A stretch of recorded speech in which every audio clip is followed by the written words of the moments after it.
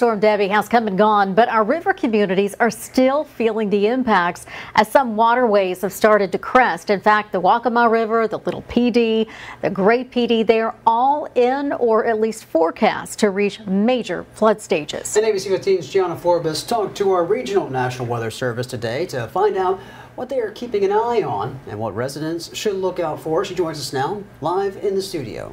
Gianna? Yeah, Jen and Andrew, as much flooding as we've seen in the last week, we may need to prepare ourselves for possible cresting in our rivers at even higher flood levels. The expert I talked to today wants everyone to be prepared.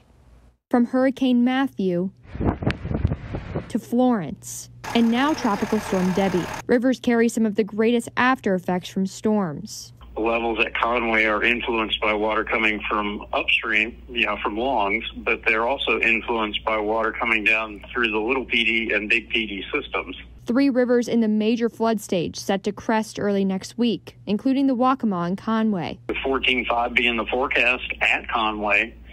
Um, based on your experience, maybe prepare for 15 at Conway and take action according to what you normally see for 15 feet of Conway. Upstream and downstream effects from Debby, causing river forecasters to expect higher cresting points and water to flow backwards, sometimes causing overflow from the Little and Great Pee Dee rivers. They can bottle up the exit from the water from Conway, and sometimes it results in Conway experiencing higher water at the gauge than we might otherwise see. Concerns about the Little and Big Pee Dee Riverway have counties like Marlboro on high alert into next week.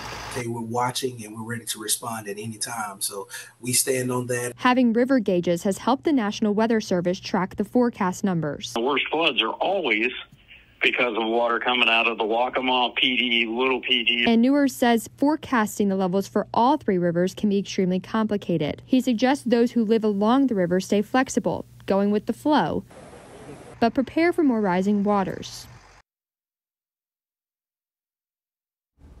Now, the Waccamaw River is set to forecast and crest a week from now, and others like the Little Pee Dee and Great Pee Dee are set to crest in the next two days. Reporting live in studio, Gianna Forbes, ABC 15 News.